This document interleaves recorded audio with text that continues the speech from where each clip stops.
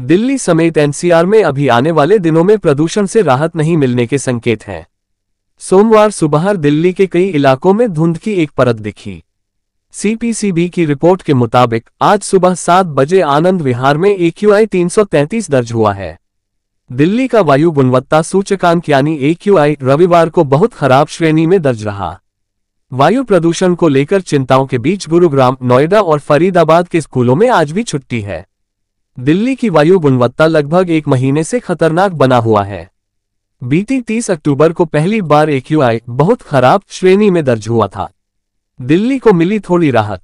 राजधानी में हवा की दिशा व गति बदलने से रविवार को वायु गुणवत्ता सूचकांक एक्यूआई गंभीर श्रेणी से निकलकर बेहद खराब श्रेणी में पहुँच गया। इससे लोगों को प्रदूषण से मामूली राहत मिली। हालाँकि अब भी लोगों को सांस लेने में परेशानी और आँखों में जलन महसूस हो रही है। गुनगुनी धूप निकलने से धूल और स्मॉग की मोटी परत टूट गई। इस दौरान एक्यूआई 318 दर्ज किया गया।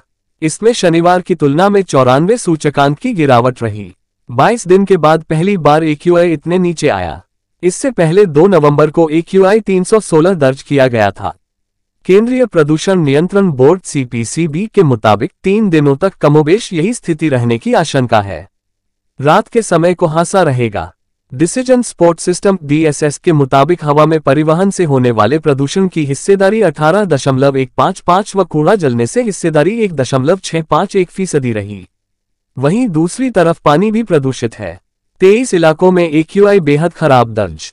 बवाना, अशोक विहार, जहांगीरपुरी समेत तेईस इलाकों में एक्यूआई बेहद खराब श्रेणी में दर्ज किया गया।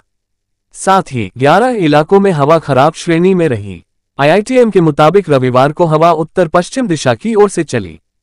हंगामा टाइम्स की तमाम खबरों को देखने के लिए हंगामा टाइम्स को सब्सक्राइब कर लीजिए और बेल आइकन दबा लीजिए। अगर आपको ये वीडियो अच्छा लगा हो तो लाइक बटन प्रेस कर अपनी प्रतिक्रिया हमारे कमेंट बॉक्स में देना मत भूलें।